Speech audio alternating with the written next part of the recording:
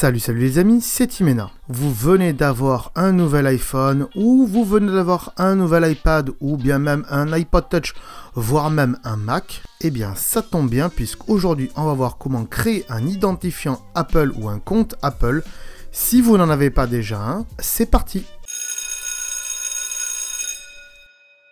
Donc déjà, avant de commencer, qu'est-ce qu'un compte Apple? Si l'on devait définir un compte Apple, eh bien c'est une sorte de passeport qui vous donne accès à tous les produits et services d'Apple. Et ça s'obtient simplement en créant un identifiant Apple. Pour quel type d'usage exactement vous aurez besoin d'un identifiant d'un compte Apple? Eh bien, tout simplement déjà pour la prise de rendez-vous avec l'assistance d'Apple, que ce soit en magasin ou bien en ligne via euh, bah, le SAV d'Apple. Ça vous permettra aussi le téléchargement de musique, de films et d'applications pour votre smartphone, votre tablette et même un Mac. Ça vous servira également pour passer des appels en vidéo avec FaceTime, mais aussi de pouvoir accéder à tous les services liés à iCloud.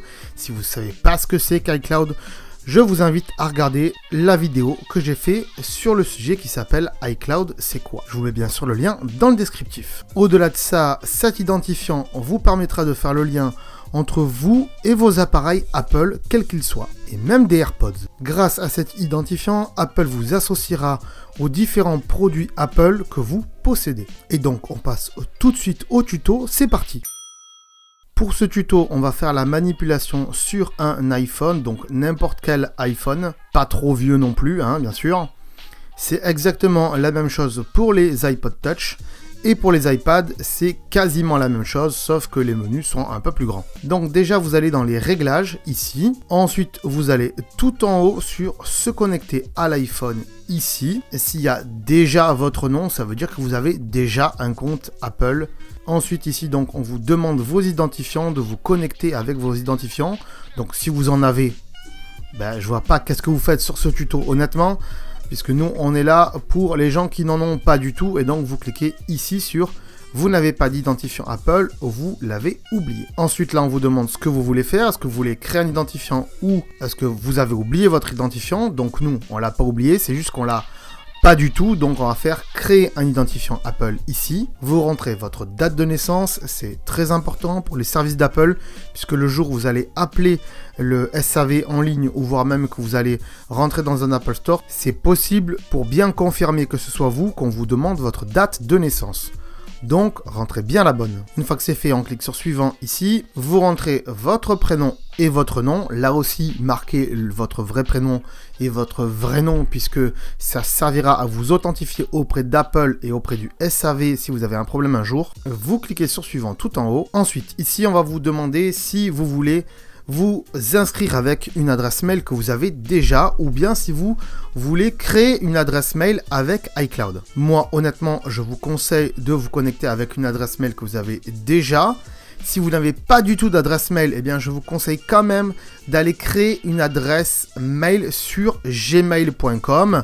C'est totalement gratuit et comme ça vous pourrez vous en resservir pour d'autres trucs plus tard. Donc nous on part sur le principe où vous avez déjà une adresse mail et donc vous cliquez sur votre adresse mail actuelle. Bien évidemment, si vous ne savez pas comment créer une adresse mail sur Gmail, je vous mets le lien d'une vidéo que j'ai déjà fait dans le descriptif. Vous rentrez donc votre adresse mail, de préférence pour moi une adresse Gmail, je vous le dis tout de suite, parce que les autres adresses mail, genre euh, laposte ou sfr, wanadoo, ceci, cela, c'est de la grosse merde. Éventuellement une adresse Outlook ou Hotmail, c'est-à-dire une adresse mail de chez Windows, là encore ça peut faire le taf, mais honnêtement, préférez Gmail de loin. Et donc, cette adresse sera votre identifiant Apple. Vous pouvez activer ou désactiver de recevoir des annonces d'Apple, c'est-à-dire les actualités, les mises à jour de logiciels, etc., etc. Là, ça va vous envoyer des mails pour vous dire quand il y a une mise à jour ou certaines actualités quand il y a de nouveaux produits qui sortent, etc. Donc ça, c'est à vous de voir si vous voulez recevoir de la pub de la part d'Apple ou pas. Vous cliquez sur suivant. Ensuite, on vous demande de rentrer un mot de passe. Donc là, vous allez créer un mot de passe. Donc votre mot de passe doit comporter au moins 8 caractères minimum et doit au moins avoir un chiffre ou plusieurs, et au moins une majuscule ou plusieurs, et au moins une minuscule ou plusieurs. Vous confirmez votre mot de passe en le retapant en dessous, et vous cliquez sur suivant tout en haut. Ensuite, on vous demande de confirmer votre numéro de téléphone qui servira à valider votre identité à l'aide d'un SMS ou d'un appel téléphonique. Donc vous vérifiez bien que c'est votre bon numéro de téléphone, celui qui est sur votre iPhone actuel ou vous faites ce tuto et vous cliquez sur continuer. Le fait de donner votre numéro de téléphone à Apple, ça leur permet de vous envoyer donc des SMS si un jour ils ont besoin de confirmer votre identité si vous avez besoin de vous connecter depuis un autre appareil, par exemple un iPad, un Mac, etc. Donc ne vous inquiétez pas, c'est Apple, ils sont très bien sécurisés. Donc euh, n'ayez pas peur de mettre votre numéro de téléphone, il n'y a aucun souci. Ensuite, vous acceptez les conditions générales, vous pouvez les lire si ça vous intéresse. Mais comme d'habitude, personne ne le fait, donc vous acceptez directement. Là, on vous demande de confirmer que vous avez bien lu les conditions générales, bref, que vous acceptez les conditions générales sur iOS, iCloud et aussi sur le Game Center. Donc vous cliquez sur accepter. Ensuite, la connexion va se faire avec iCloud puisque c'est iCloud qui va créer vos identifiants Apple. Ça peut durer un petit moment. Une fois que cela est fait, on va vous demander de rentrer le code de votre iPhone ou votre iPad, votre code de sécurité quoi. Ce code vous permettra de pouvoir accéder à vos identifiants Apple. Donc quand vous allez faire des modifications à l'intérieur de vos identifiants Apple, par exemple votre nom, votre numéro de téléphone, votre adresse mail ou n'importe quel service qui est à l'intérieur d'iCloud, eh bien il va vous demander le code de votre iPhone et pas le code de la carte SIM, attention. Une fois que ça c'est fait, eh bien on va vous envoyer un mail de validation. Donc sur l'adresse mail que vous avez rentré juste avant, eh bien, euh, vous allez un peu checker tout ça euh, dans votre boîte mail. Si vous ne l'avez pas déjà configuré sur iPhone, allez sur un ordinateur. Si vous l'avez configuré sur votre iPhone, c'est parfait, vous allez le recevoir sur votre iPhone. Vous voyez donc ici le mail, il ressemble à celui-ci. Donc il y a un code à l'intérieur. Moi, je voulais flouter, mais vous voyez qu'il y a un code. Je vous mets les deux premiers numéros. Et donc après, quand vous cliquez sur valider l'adresse mail ici, eh bien vous n'avez qu'à rentrer le code qui est dans le mail. Et voilà, vous avez créé un identifiant Apple. Si vous voulez en apprendre plus sur les fonctionnalités et autres astuces sur votre iPhone ou iPad, je vous conseille de regarder la playlist qui s'intitule Débuter sur iPhone les bases. Le lien est bien sûr dans le descriptif et à la fin de cette vidéo. Et je suis sûr qu'il y aura des vidéos qui peuvent vous intéresser. Et oui, on en apprend tous les jours.